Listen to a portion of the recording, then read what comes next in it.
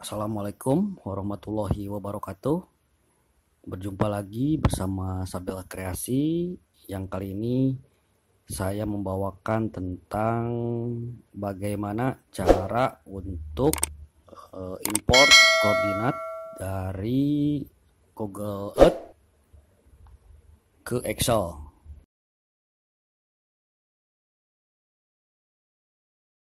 Nah, ini ada POM seperti ini nih mungkin di project eh, FTTH kalian sering temukan POM seperti ini.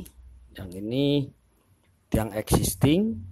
Ini ada beberapa tiang existing sampai 25 atau lebih ini sampai 44 nah ini gimana cara untuk memasukkan eh, koordinat-koordinat tiang tersebut Nah, ini dari pool 1, tiang 1 sampai seterusnya. Kalau satu persatu kayak gini, kita ambil koordinatnya ini. Mungkin lama untuk kopinya.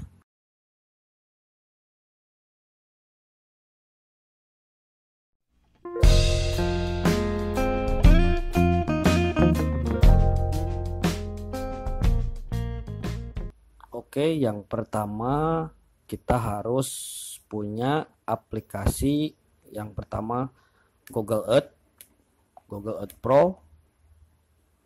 Yang kedua Garmin Basecamp. Nah ini aplikasi yang harus kita punya untuk uh, insert koordinat dari Google Earth ke Excel. Nah, yang pertama kita buka Google Earth.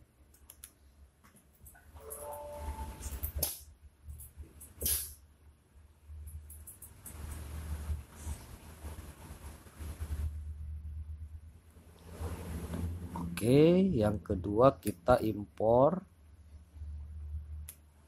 datanya kasih contoh. Ini adalah kasih contoh asplen ini belum ada taggingannya. Belum ada taggingan tiangnya.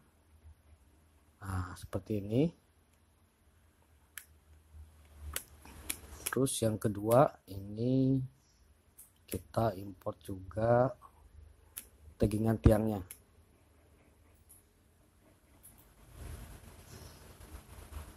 nah jadi hasilnya akan seperti ini. Jadi langkah yang kedua kita save dulu atau simpan semuanya biar menyatu. Dengan cara ini diklik tempat sementara. Terus simpan sebagai di sini kita kasih nama kendal. Ini mau KMZ atau KML bebas. Lalu save nah setelah tersimpan semuanya kita buka aplikasi yang namanya Garmin Basecamp. Oke. okay.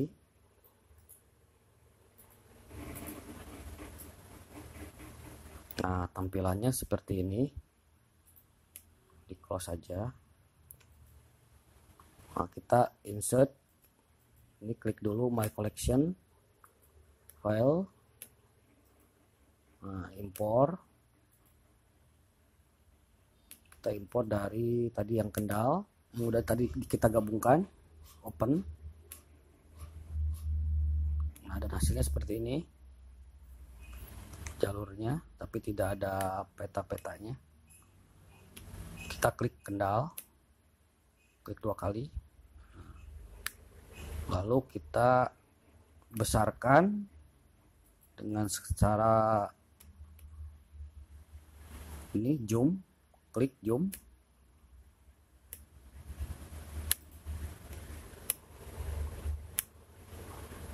Sampai benar-benar maksimal terbuka.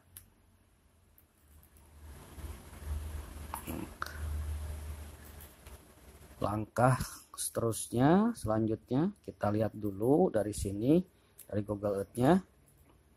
Nah ini jalur kabelnya dari mana ke mana dulu? Ini contohnya yang LAN A yang LAN A yang yang biru. Kita lihat dulu di sininya. Kabel kita hidden dulu yang LAN B.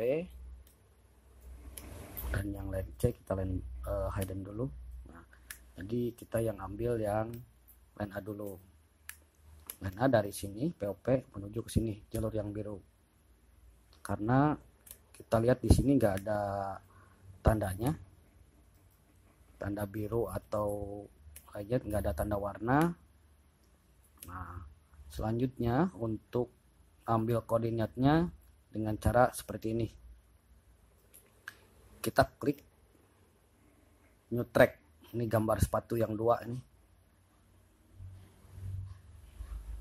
Kita klik. Lalu kita klik yang titik yang pertama dari sini POP klik. Nah terus kita ngikutin jalur yang lain A klik di sini. Di, kita harus ngeklik di pas bagian waypointnya atau titik titiknya titik tiangnya. Klik. Yang kedua yang ketiga yang keempat yang kelima yang keenam yang ketujuh. Dan seterusnya sampai benar benar-benar tiang terakhir. Ini saya cuma kasih contoh aja. Klik lagi. Klik lagi. Ini anggap sudah beres semua. Jadi jangan lupa untuk titik yang terakhir kita tambahkan titik satu. Bebas di mana? Di sini di sini. Kita tambahkan titik satu. Oke? Kenapa karena kalau tidak ditambahkan titik satu di sini atau taggingan lagi koordinat yang ujung yang ini tidak akan uh, ke copy. Setelah ini baru kita klik pan. Nah, ini pen nih. Gambar tangan klik.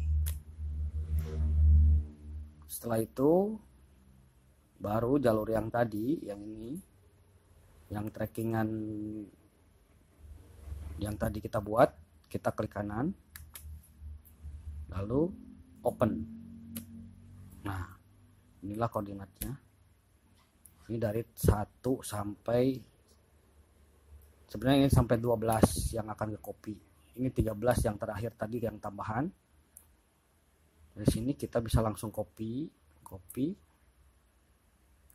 Blok dulu semua copy nah, langsung masukkan ke Excel dulu. Kita klik Excel. Nah, kita paste di sini. Sorry. Nah, jadi inilah uh, hasil dari koordinatnya yang tadi. Dan ini jarak-jaraknya antara tiang satu ke tiang yang lain nah dari sini kita langsung copy ke pom yang tadi oke kita lihat dulu pomnya nah ini kita buka dulu Nah, ini kan dari pool 1 sampai tadi ke 13. Kita paste di sini. Nah. Jadi inilah koordinat-koordinatnya dari 1 sampai 12. Yang terbaca 12. Karena yang ke-13-nya tadi itu merupakan e, tambahan supaya tiang yang ke-12 itu kopi nah, setelah ini barulah kalian rapihkan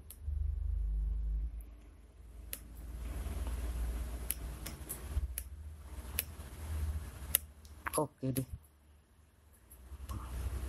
sekarang koordinatnya sudah tercopy. Dan untuk yang pool berikutnya kalian tinggal ikutin aja cara tadi.